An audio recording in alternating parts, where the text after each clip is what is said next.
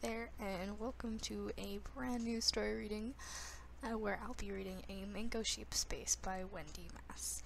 Now, I have read this book a few times in my lifetime when I was younger, and since you guys seem to enjoy um, Honey and Pie, which are when I what I read when I was younger, thought you might enjoy this. It's a nice, kind of quick read, and it's good story. It's been a while since I read it, so I don't remember everything, but I just remember really liking it. It was just really different. And Wendy Mass just is really good at her books. They're all really good. I still enjoy them to this day, even though they're meant for like middle schoolers and lower. but yeah, I thought it'd be cool to just share this book, and hopefully you will all enjoy this story reading. Now, before I start reading this book, I'd just like to point out a few things and just get some stuff explained because I think they're kind of important. It's good for you guys to know. But, um, my last story reading, Better Off Friends, I had finished reading that like a good year and a bit ago, but I had continued uploading them until like a few weeks ago, I believe. I am very sorry that they took so damn long to upload, but that was just me being lazy and me being forgetful and my computer being annoying. So I really hope my to get better at that. That is my goal to just constantly upload things, especially if I'm not in the book, to just upload it so you guys can enjoy it as fast, well, as quickly as is possible and not have to wait and then forget the story because that must be really annoying. So I'm really sorry about that. Another thing I would like to explain is um, the reason I read books like that are for more like younger audiences and like ones I have personally read. I do this for a few reasons. One, they are shorter, which is good. So I'm not spending an insane amount of time reading extremely long book also it's like I know there's more younger audiences that read it possibly because that was like my first book that I uploaded was for younger audiences but it's just nice to like share it for like younger people that like I don't know they have like trouble reading or whatever or they just like enjoy doing this it's good for homework and stuff I realize people it's been really helpful for people. Another reason why I read these like books that are like for younger audiences, ones I've read before, is because I know for a fact that it's a good book. The only time I experimented on that was um, Better Friends, I believe, and it turned out pretty damn good.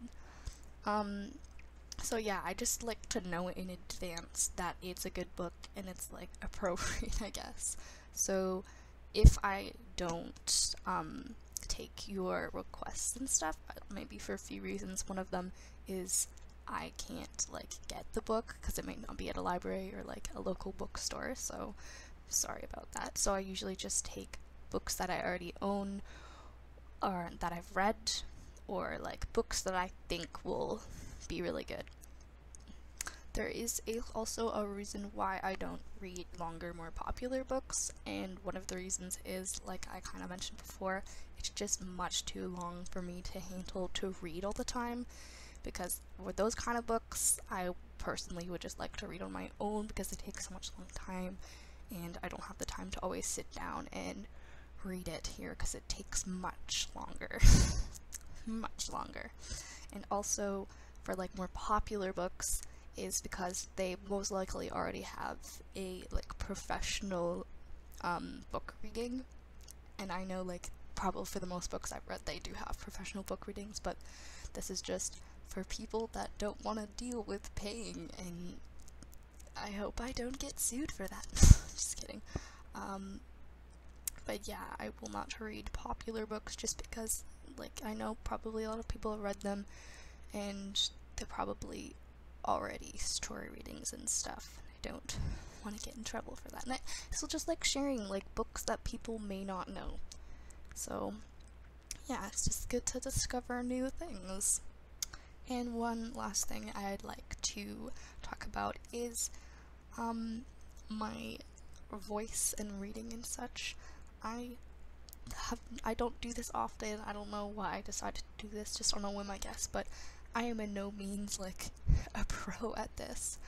Um, so apologies if my reading is like kind of flustered in a way, or like too quick or too slow, or if my voice is not loud enough. I'm really sorry about that. I'm working on it. But if you can't seem to hear it, just try turning up your volume, and if not, just consult me about it, and I will try to get my voice louder. I'm not working on the best recording thing, but it's what I have, it's been alright. So sorry for like background noises or page flipping or whatnot, and like my heavy breathing. Um, sorry about that. Hopefully it doesn't annoy you too much, and you can just focus more on the story. But I do try my hardest. I will try to pronunciate things as best as I can. Some words I'm like, I just I don't know, but I will try. So yeah, I think that's all I really need to say. Thanks for um, listening to this, and if you didn't, well, um, thanks for watching or listening to this video anyway. but yeah, I further ado, I think let's just jump right into the book. Let's go. A Mango Shaped Space by Wendy Mass. Prologue. Freak. Freak. I'll never forget the first time I heard the word. That day at the blackboard. It was five years ago when I was eight. For those who are mathematically challenged like me, that means I'm 13 now. So there I was, dressed in my shepherd girl costume for the Christmas play after school, struggling to complete the math problem on the board while my fellow third graders watched. The one size fits all costume didn't fit me, the shortest shepherd in the class, so I had to keep pushing up my sleeves. The chalk dust trickled my, tickled my nose. My feet were freezing in the sandals that, in my humble opinion, no one should have to wear in northern Illinois, Illinois in the middle of December. My mission was to multiply 24 times 9. I remember thinking that if I wrote slowly enough, the bell might ring before I could finish. Finish. Just five more minutes. Then no one would know that I could, couldn't solve the problem. I rolled the smooth piece of chalk around my fingers and tried not to think about the whole class staring at my back. Glancing around in what I hoped looked like intense concentration, I noticed a few fragments of colored chalk on the ledge of the board. To use up some time, I put down the white pieces and began rewriting each number on the board in its correct color. Mia! My teacher, Mrs. Lau, start startled me. As I turned, the chalk screeched on the board and a deep red zigzag shape sped across my vision field of vision. My classmates groaned at the noise. This isn't art class, she said, wagging her long, skinny finger at me as if I didn't know that. Just use the white chalk. But isn't it better to use the right colors? I asked, confident that the other kids would agree. Glass giggled and I grinned, thinking they were laughing at her, not me. What do you mean the right color? she asked, sounding genuinely confused and more than a little annoyed. Now I became confused. Wasn't it obvious what I meant? I looked at my classmates for help, but now their expressions had changed. They gawked at me as if I had suddenly sprouted another head. My hands started to shake a little, and I rushed out my explanation. The colors. The colors of the numbers, you know, like the two is pink. Well, of course, it's not really this shade of pink. More like cotton candy pink. And the four is this baby blanket blue color. And I, I just figured it would be easier to do the math problem with the numbers in the correct colors, right? I pleaded with my classmates, my friends, to back me up. This time when the class laughed, it didn't sound so friendly. I felt my cheeks burning. Then I heard it, in a loud whisper from the back row, freak, except it sounded like freak. What are you talking about, Mia? demanded my now clearly your ear irate teacher. Numbers don't have colors. They simply have a shape and a numerical value. That's all. But they have all those things. I whispered, my voice sounding so far away. Mrs. Lau put her hands on her hips. I've had enough of this. For the last time, numbers do not have colors. Now are you going to complete the assignment? I stared at her and shook my head. I suddenly felt very small, as if my skin was tightening and I was actually shrinking. A wearing sound filled my head. How was this possible? Was everyone playing a trick on me? Of course numbers had colors. Were they also going to tell me that letters and sounds didn't have colors? The letter A wasn't yellow like a faded sunflower, and screeching chalk didn't make red jagged lines in the air. I replaced the chalk on the ledge, aware for the first time that my hands shake when I'm nervous. I stood with my arms at my sides, sleeves hanging halfway to my knees. Was I the only one who lived in a world full of color? I waited to see if they were going to tell me the earth was flat. A badly constructed paper airplane wobbled past my nose. Mrs. Lau sent me to, to Principal Dubner's office, where I repeated my explanation for using the colored chalk. By the time my parents arrived an hour later, I'd run out of steam. I sat there and listened to them talking about my uncharacteristic behavior. I wanted to tell the principal that his name was the color of freshly piled hay. I quickly thought better of it. Even at eight years old, I was smart enough to realize that something was very wrong, and that until I figured out what it was, I better not get myself in deeper trouble. So I pretended I made everything up. I sat there and said things like, it was stupid, I was only playing around, and at least twenty times. I'm sorry. The principal left me in the hands of my parents who brought me home. I promptly kicked off the stupid sandals, threw on my sneakers, and kind of running through the fields behind my house. The cold didn't bother me. I was too busy brooding over the unfairness of it all. The Christmas play was short one shepherd girl. Mrs. Lowe made me clean the erasers for a week and apologized in front of the whole class for taking up their time with my nonsense. Those were her words, not mine. Pretty soon, everyone forgot about that day. Everyone but me. I learned to guard my secret well, but now I'm 13. Everything is about to change. There's nothing I can do to stop it. Well, that was the prologue. I hope you're intrigued to read more. Um, I did not mention this, I forgot to, but this story is like about a girl, Mia Winchell, who has synesthesia, and if you don't know what that is, you will learn. but it's kind of like your sens- senses in different ways are um, enhanced in a way to see color or like taste color or like yeah like numbers and letters have their own colors and i just think that is absolutely fascinating and i had no idea that was a thing until i read this book when i was younger and like since then i've always found that really interesting and i'm just like i'd like to just like be in a person's shoe with synesthesia for like I don't know, a little while just to see what it's like because I think that's just really cool. Like, I don't know if they personally find it like a bad thing, but I don't know. It'd be really damn cool. Comment below if you think it'd be cool or if you have synesthesia. I would love to know. Please explain more to me. But yeah, um, pretty cool, ain't it? Anyway, let's continue on to chapter 1. Chapter 1 A is for Amy, who fell down the stairs, says my best friend Jenna Davis as we climb farther down into the steep, par parched ravine. We've been inseparable since we were five, and her mother brought her to my house to play. We bound, bonded over the various ways we could con contort my Barbie and Ken dolls without breaking them. Let's say that Ken won't be having children anytime soon, and leave it at that. B is for Basil. Assaulted by bears, I reply, continuing the morbid rhyme we memorized off the poster on my bedroom wall. Each letter of the alphabet has a rhyme about a little kid meeting some bizarre end. I like the poster because it is in black and white to everyone else, but inside my head, it's in color. Could it be any hotter out? Jenna asked, panting with the effort to keep her foot on the slippery slope. The sweat dripping down my face is enough of an answer. August has rolled around too soon, and we only have a few more weeks before 8th grade starts. If we lived a little farther south, a tumbleweed would tumble by.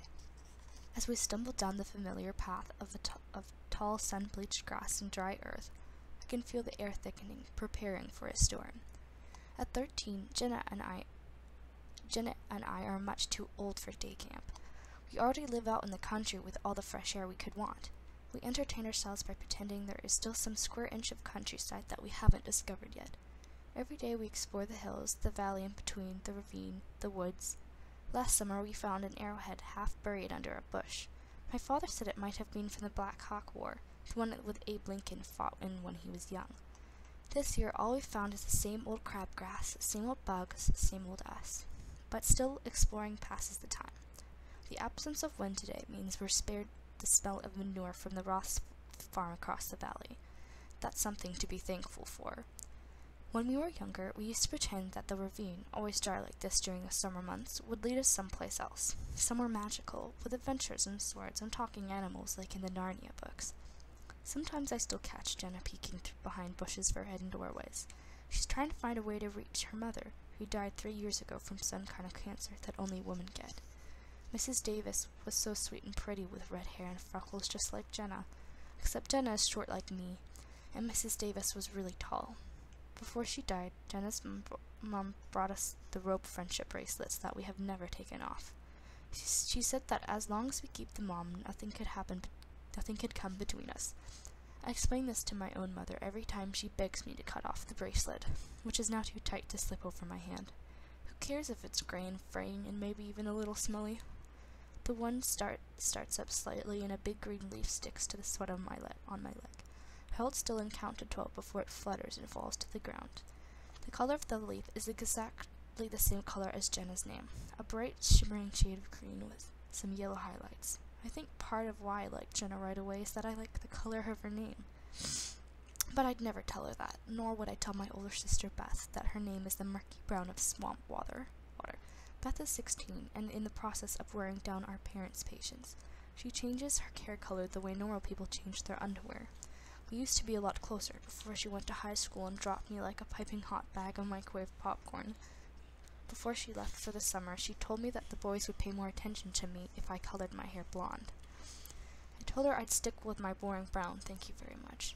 The only natural blonde in the family is Zach. He just turned 11, and his name is the light blue of a robin's egg. Zach has a lot of strange ideas. He can tell you exactly how many McDonald's burger, hamburgers he's eaten in his lifetime. He has a detailed chart on his wall. The local paper ran a story about it once. Jenna stops walking and points at my feet. Your sneakers are untied, she says, for a change. I kick my sneakers off, tie the laces together, and drip them over my shoulder. I prefer to be barefoot anyway. Every night the water in the bottom of my shower turns brown for a minute as the dirt runs from between my toes. Beth refuses to shower after me. Jenna starts to say something, but her words get drowned out by a helicopter flying overhead. The roaring sound instantly fills my vision with brown streaks and slashes, and I look I look up to see the familiar markings of my father's chopper. He sells and repairs small farm equipment and uses the helicopter to get to the out-of-way places. Jenna and I wave, long hair whipping around our faces but I don't think he sees us. When Zach was little, he was scared Dad wouldn't be able to find his way home. Zach cried and cried every time the helicopter took off. Finally, Dad took me and Beth and Zach up in the chopper with him to show us how easy it was to spot the landing site. Beth threw up the entire time and hasn't gone for a ride since. Are you ever scared to fly with him? Jenna asks when we can hear each other again. That thing looks like it's ready to fall apart. It's fun, I tell her, tucking my hair back in its ponytail. It feels like you're a bird up there. Everything looks different. You're always welcome to come with us, you know. A look of horror flits across Jenna's face. No thanks. In all those these years, Jenna has never accepted my offer. So, have you gone up the cemetery yet? Up to the cemetery yet? she asked, as we continue walking along the bottom of the ravine. No, not yet. I still have to finish the painting. It was Jenna's idea that I bring my grandfather's grandfather a present on the one-year anniversary of his death. She brings her mother something each year, and her mother gives her gifts from the grave. Well, sort of. When Mrs. Dave Davis knew she wasn't going to live much longer, she stocked up on presents and wrote long letters about her life. She gave them to my mother to keep, and each year on Jenna's birthday, my mother sends her one of the packages in the mail. One of these years, the gifts are going to run out, and that will be a very sad birthday indeed. Can I see the painting? Jenna asks, even though she knows better. You know it's bad luck to show it before it's done. Why are you so superstitious? she asks, wiping her sweaty brow and leaving a streak of dirt. I thought your brother's, super, brother's superstitions drove you crazy. They do, I insist. I'm not half as bad as him. If a black cat across, crosses his path, he locks himself in his room for the rest of his day and forget walking under ladders. If he sees our father do it, he makes him walk around the house backward. Twice. Zach says that if Dad really wanted to make sure he undid the bad luck, he would cross his fingers until he saw a dog. But you don't have a dog. I know. And what's with the ladder thing anyway? I shrug. I have no idea. But you definitely don't want to walk under one. There's a lot of weirdness in your family, Jenna says, picking at a scab on her elbow.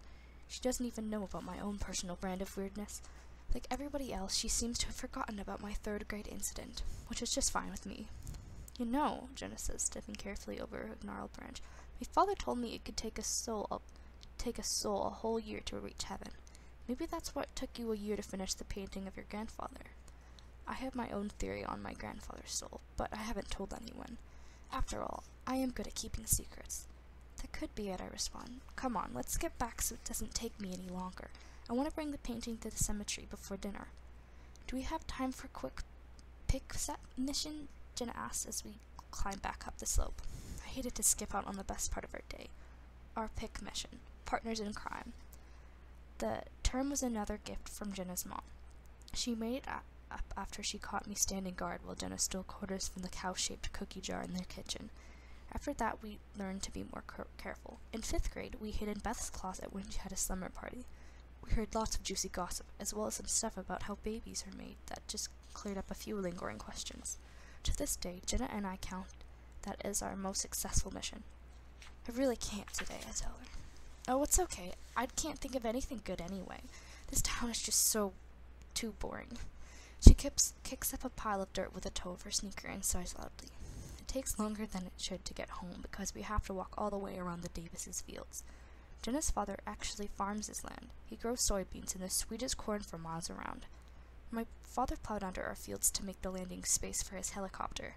Jenna's father thinks my father is lazy since he only flies three times a week and is back by dinner time. My father thinks Jenna's father should mind his own business. Is your dad ever going to stop working on your house? Jenna asks as we come into view of it. Everyone in town, including the rest of my family, wants to know the answer to that question. The helicopter is now parked out back, and my father is already halfway up the ladder on his way to the roof. I don't think so, reply honestly. My sprawling house is famous in these parts, and never fails to get a reaction. First, people stare. They look up, they look down. Sometimes they even do that twice, the house is almost like a living creature that keeps expanding and contracting and remaking itself. Every inch of it was built by my father and grandfather from all different kinds of wood, whatever they could borrow, barter, or beg for. They could never agree on how the house should be laid out, so they each did their own thing and eventually met up in the middle. This technique resulted in a number of doors that led nowhere and stairs that go inside walls like secret passageways. This is how Jenna and I managed to wind up in the back of Beth's closet. So I guess the spider web filled tunnels are good for something. My father is usually on a ladder hammering away at the roof when he's not tinkering with a chopper. I call him Casper because we hardly ever see him at ground level. He calls me Wild Child because I'm always running around barefoot feeling the earth under my feet and predicting rain. Hi, Mr. Winchell, Jenna shouts. My father waves at us with his hammer, his mouth full of nails. Bye, Mr. Winchell. Jenna shuts again as she heads towards her own smaller and much more normal house. He tries to wave again, sl slips slightly, then quickly regains his balance. How long will you be up there? I call out. Till your mother makes me come down. Great, my mother. That means at least a few more hours of hammering until Mom brings Beth back from the airport. Beth has been gone for six whole weeks at a summer college prep program in California. She won a full scholarship by writing an essay on the presence of writing an essay, on the pre pressure of on the pressure of writing an essay. It was Zach's idea. Her return is all too soon, if you ask me. It was nice not having anyone boss me around. The hammering begins, and her, the family mottled gray bursts of color appear about a foot away from my face. The color and shape of a hammer hitting, in a hitting a nail has become such a part of my existence that I barely notice it. I can see right through the color burst, but they still distract me from whatever I'm doing. If it was a nicer color, I might not mind as much. I slip into my sneakers as I approach the back kitchen door, stepping cautiously around wooden planks, hammer, hammer, hammers, nails, and one very scary-looking chainsaw. As always, the smell of sawdust in the air, and on my clothes, and in my throat. It is in inescapable around here, and has long since mingled with the taste of multicolored chalk dust that still haunts me from third grade. I go up to my room and look for Mango, whose official name is Mango the Magnificat.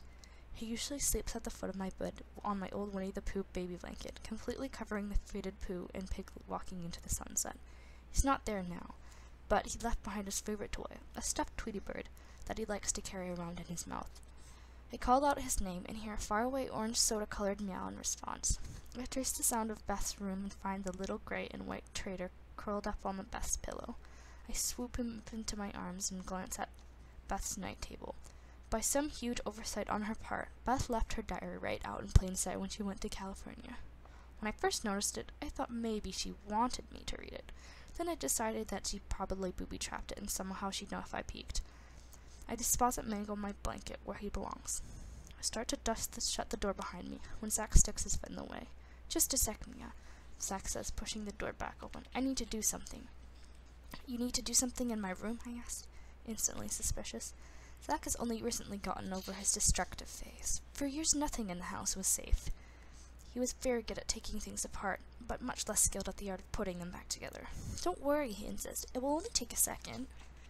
On one condition, I say, trapping him in the doorway. You have to tell me why it's bad luck to walk under a ladder. He rolls his eyes. That's easy. It's because you're disrupting the sacred triangle of life, formed by the ladder, the ground, and the wall. Huh? I let my guard down, and he takes this opportunity to brush past me into my room. He, he heads directly over to my clock collection of the far wall. I follow him and notice he's clutching several watches in his small in his small hands. Two belong to my father. One is my mother's, and one is Beth's. What are you doing with all those? Shh, he says, cutting off. I have to get this exactly right. He stares at the faces of my clocks as if they ha have a message for him. Get what exactly? Shh. His eyes dart from the wooden cuckoo clock to the fluorescent star-shaped one, over to the big digital one, down to the clock in the shape of a train, and across to the electric one that speaks the time out loud. Collected clocks since first grade. Every Christmas I got to pick out another one.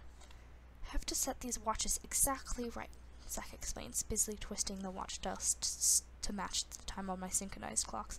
Otherwise, some of us will be living in the past and some in the future, in the very same house. Can't have that. Very bad. What difference could a minute or two make? It has to do with folds in the space-time con continu continuum. Obviously, he replies, as though I should clearly have known that. Where did you get that from? It sounds like something from Star Trek. He shakes his head adamantly. I read I read it on the NASA website. I should have known. Zach is addicted on, to the internet. You can't believe anything, everything you read on the computer. I don't get to finish my sentence because at that moment all the clocks strike five. The cuckoo, the, the cuckoo pops out and cuckoos loudly. The train blows its whistle really loudly. All the alarms go off at the same time, buzzing and chiming and ringing and shrieking, all much longer than I've heard them, ever heard them.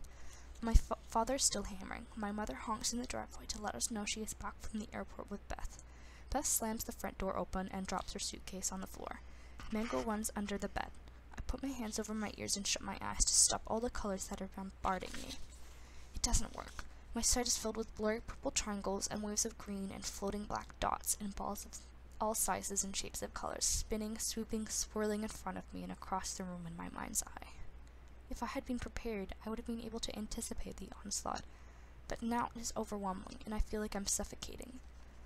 What's wrong with you? Zach shouts. I'm crouching on the floor now. Why is everything so loud? I cry above the noise. The noise. A second later, the chimes stop. No more honking, no more doors slamming, just the usual hammering. The colors and shapes quickly fade away, and I feel like I can breathe again. I open my eyes to find Zach staring at me with a combination of concern and surprise. I stand up and quickly turn turn one of the clocks around. The volume was turned all the way up. Same with the others. My hand shakes slightly as I pull them all off the wall and rest them on the bed. I don't get it. I always keep alarms turned off. Zach tries to slink out of the room, but I grab a sleeve. I told him there. I told him there until he confesses. Okay, I switched out on the alarms and turned the volume up a little before you came home. I did, so I'd be able to hear them from my room. You could have heard them from your room if you were in Alaska. I push him into the hall and lock my door. He says, knocking hard. I only did it so I wouldn't be in your room without permission. You were in here without my permission to turn the alarms on, weren't you? Silence, then. What's your problem anyway? Ignoring him, I switch off the alarms and hang the clocks in their rightful, rightful spots. I watch them silently, ticking and blink back the stinging tears. How could Zach be so unaffected by the noise? Noise. What if I'd been out in public when something like that happened? I'd look pretty ridiculous crouching in the hallway at school. As I stand there feeling sorry for myself, Mango peeks out from his hiding place, looks around, then ten tentatively crawls out and winds himself around my legs. I pick him up and head over to the closet where I store my art supplies. I have a painting to finish and a grandfather to visit. I always put music on when I paint, but for the first time I can remember, I'm afraid that the colors will overwhelm me. I never want to feel so out of control again. I try to finish the painting, but I can't concentrate. It's too quiet. Even the hammering has stopped. I choose a Mozart piece that Grandma used to like, Grandpa used to like, turn the volume way down, and press the play button before I can chicken out. The colors immediately and gently flow over me, energizing me, reminding me that I can still enjoy them. The glossy red barn-like color of the violin, the silvery bluish white of the flute, the school bus yellow of the French of the French horn, all of them layering on on top of another, changing, shifting, belonging at that minute only to me. Well, that it was the prologue and first chapter of Mango Shaped Space. I hope you liked it and enjoyed it, and I will hopefully um, read some more and upload that. So, till next time, just keep on reading. Yep, just keep on reading. Bye bye.